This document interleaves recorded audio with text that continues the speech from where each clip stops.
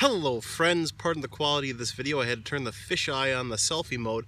This plant right here apparently had about oh, several hundred tiny yellow spiders hatch on it.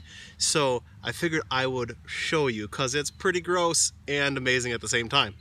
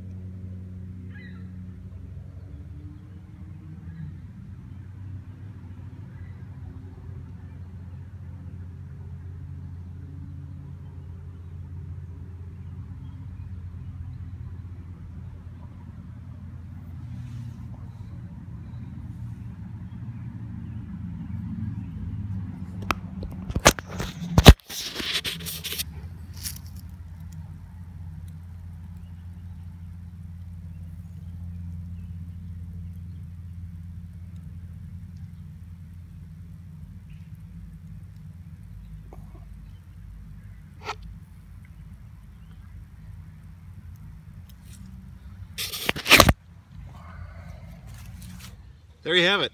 Ever seen something like that? It's kind of cool to use this camera uh, lens attachment to figure it out. So way to go, Olloclip, for showing the tiny gross spiders of the world up in close high definition.